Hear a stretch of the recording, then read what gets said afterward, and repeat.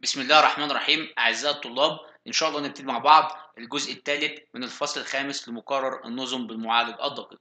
في الجزء ده يا جماعة هنكمل كلامنا عن ال memory connections تعالوا نفترض مع بعض يا جماعة إن إحنا عندنا 2 memory 2 كيلو بايت each يعني إيه؟ كل واحدة فيهم 2 كيلو بايت طيب إزاي يتم ال connections خلي بالك من الممكن إن يحصل عندي ما يسمى بال bus conflict يعني إيه بال bus conflict يعني ممكن يحصل conflict conflict في نقل البيانات في نقل ال data at the same time.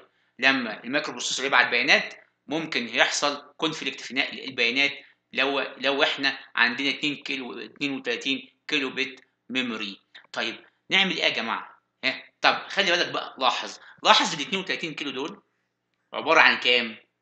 2 اس 15 مش كده؟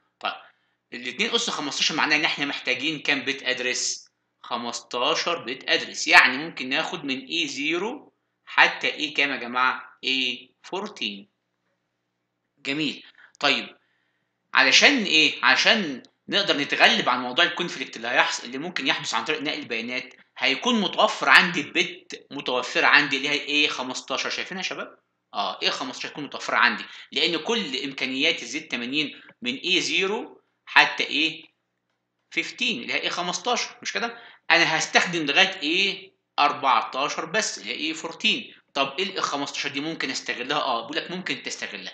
ممكن تستغلها ك إيه؟ حاكم لسلكشن يعني إيه حاكم لسلكشن كاربتر أو سلكشن لمين؟ للتو ميموريز بحيث إن إيه 15 ديت لو كانت بواحد تشغل إحدى الرامات ولما تكون ب zero تشغل الأخرى الرامة رقم 2 ومعناها إن الرامين مش هيشتغلوا مع بعض لا ده ال A 15 هتتحكم فيهم.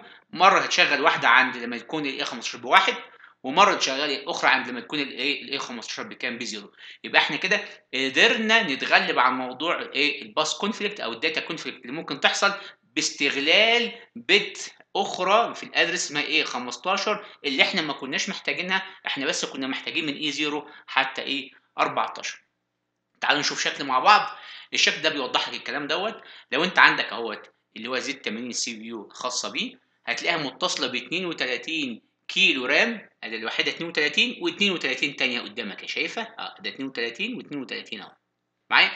لكن ال 32 دول دي ودي مش هيشتغلوا مع بعض هيشتغلوا عن طريق selection bit اللي هي A 15 A 15 دي bit bit تقدر تتحكم في الايه في الاثنين RAM بحيث لو كانت بواحد شايف؟ لو كانت بواحد تشغل اللي قدامك الأولانية لو كانت ب zero تشغل الأخرى.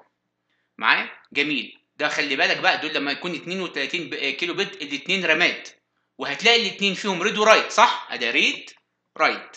read write. نظرا لأن ال RAM ممكن يحصل لها read و write. طب لو كانوا مختلفين يعني إيه مختلفين؟ يعني واحدة RAM وواحدة ROM إيه اللي ممكن يحصل؟ بقول لك مفيش مشاكل خالص. نفس الطريقة اللي إحنا اتفقنا عليها هيبقى في bit ال A 15 هتتحكم في الاثنين مرة تكون بواحد ومرة تكون إيه ب zero. لو واحد تشغل الأولى zero تشغل الأخرى عشان يحصل يحصل تغلب على الإيه على ال conflict على إيه؟ على ال conflict في ال data. ولكن خلي بالك ال RAM هيبقى لها write مش كده؟ لكن ال ROM ليس لها طرف write خلي بالك وأنت بترسم الرسمة دي إنك أنت مش هتقدر ترسم write لمين؟ لل ROM. ونفس ال connections نفس الاتصال فيما عدا هذا الفرق البسيط. والسلام عليكم ورحمة الله وبركاته.